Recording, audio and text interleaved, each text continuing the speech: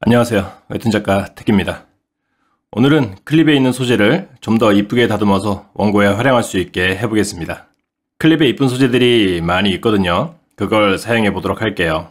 소재창을 여시고요. 이미지 칸에서 코스모스를 꺼내서 써보도록 하겠습니다. 틀린 이미지 두 장을 불러와서 한 번에 작업을 하도록 할게요. 이미지를 불러올 때 가져온 크기 그대로 작업을 하시는 것을 추천드립니다. 이유는 그래야 이미지의 검은 부분과 흰 부분이 anti-aliasing이 들어가지 않고 정확하게 나눠져 있기 때문이에요. 줄여서 하셔도 되지만 이렇게 줄이시면 선에 anti-aliasing이 들어가게 되고 검은 선도 얇아져서 작업하기 조금 힘들어지겠죠. 그래서 처음 불러온 크기 그대로 하시면 좋습니다. 이미지 안쪽은 흰색으로 채워져 있어요. 이 부분을 지우는 건 여러 방법이 있는데 그 중에 가장 편한 방법은 편집에 휘도를 투명도로 변환을 눌러주시면 됩니다. 그러면 이렇게 말끔히 흰 부분만 사라지게 돼요. 이 상태로 레이어를 하나 만들어서 밑색을 칠해주시면 됩니다. 꽃잎은 핑크색 계열로 칠해볼게요. 검은 선이 픽셀 단위로 정확하게 칠해져 있기 때문에 페인트 옵션을 건드리지 않고도 깔끔하게 칠할 수 있어요. 밑색을 깔끔하게 칠하시는 게 힘드신 분들은 제 영상 중에 빈틈없이 밑색 칠하는 법이라는 강좌가 있으니까 그것을 참고하시면 되겠습니다. 알고 계셔도 한 번 더 봐주시면 감사하고요. 구독과 좋아요는 더욱 감사합니다. 복 받으세요 여러분. 영상을 보시면 이렇게 퀵 마스크를 활용해서 칠하는 법도 나옵니다. 한 번도 안 써본 사람은 있어도 한 번만 쓴 사람은 없다는 그 퀵 마스크예요. 이렇게 끝부분까지 한 번에 칠해지지 않을 때는 페인트통 보조도구 상세에서 틈 닫기를 줄여주시면 좁은 공간 끝까지 칠해지게 됩니다. 반대로 이렇게 틈 닫기를 줄여놓으시면 펜터치가 연결되지 않은 부분들은 그냥 뚫고 나가게 되겠죠. 상황에 맞춰서 적당히 조절해가면서 사용하세요. 밑색을 다 칠하셨으면 채색을 해주세요.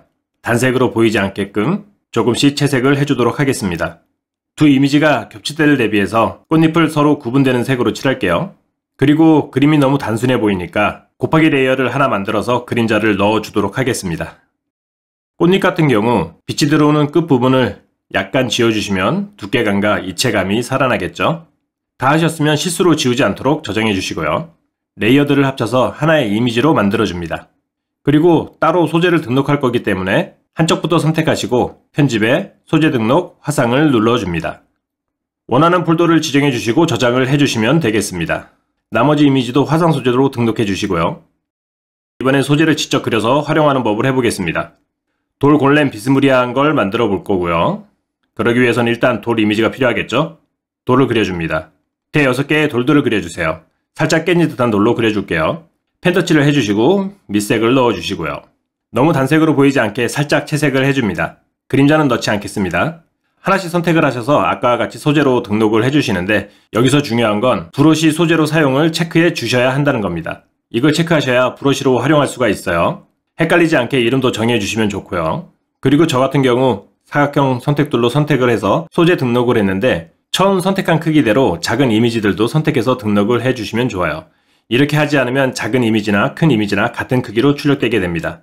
이제 브러쉬를 볼게요. 일반적으로 우리가 쓰는 지폐 같은 브러쉬를 복사해 주시고요. 보조도구 상세에서 브러쉬 끝에 끝 모양에서 소재 칸에 브러쉬 끝 모양을 추가합니다를 클릭해 주세요. 그러면 선착장이 뜨는데 아까 등록하신 소재를 한글로 하셨다면 밑부분에 뜰 겁니다. 하나씩 불러와도 되지만 귀찮으니 하나를 선택하고 Shift를 눌러 마지막 이미지를 선택하시면 그 사이에 있는 것까지 다 선택이 되겠죠. 한 번에 불러와 줍니다. 그러면 이렇게 이상한 지렁이 같은 브러쉬가 되는데 스트로크로 가셔서 간격을 넓혀주세요. 그러면 얼추 그럴싸한 브러쉬가 됩니다. 이 상태로 여기저기 잘 어울릴 곳에 사용하셔도 되고요. 저는 제가 원하는 모양이 나올 때까지 더 건드리겠습니다. 브러쉬 크기는 압력에서 최소치를 50 정도 줄게요. 그리고 너무 같은 모양이 일률적으로 나오니까 인위적인 느낌이 들죠. 다시 브러쉬 끝에서 방향을 랜덤으로 줍니다. 그러면 이렇게 흩어진 느낌으로 나오게 돼요. 그리고 스트로크의 반복 반복에서 랜덤으로 바꿔 조금 더 자연스럽게 섞여 나오게 해줄게요. 그럼 이제 준비는 됐습니다. 폭발할 때 퍼져나가는 잔해들 같은 경우 이렇게 흩뿌리고 이동 흐리기를 살짝 주시면 순식간에 그릴 수 있겠죠. 하지만 전 이것 말고 골렘을 만들어 보도록 하겠습니다. 빨리 그리기 위해 브러쉬 간격을 좀 줄여줄게요. 이렇게 대충 골렘 형태를 잡아주세요. 뒷부분 느낌이라 곱하기 레이어를 하나 만들어서 좀 어둡게 해주겠습니다.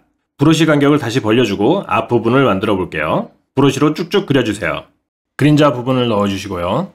외곽선을 살짝 두껍게 해주겠습니다. 스크린 레이어로 눈을 만들어주고 뒷배경을 칠해주시고 골렘도 살짝 어둡게 해줍니다.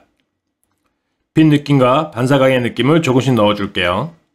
배경이 별로인 것 같으니 어두운 숲 배경으로 바꿔주겠습니다. 여기에 아까 만들어 놓은 코스모스를 넣어볼게요. 앞부분을 넣어주고 뒷부분도 작게 넣어줍니다. 그리고 흐리기를 주면 이렇게 그럴싸해집니다. 아, 다행이다. 머리에 꽃 하나 올려서 유튜브 썸네일로 만들었습니다. 시청해주셔서 감사합니다. 다음에 또 봐요. 제발.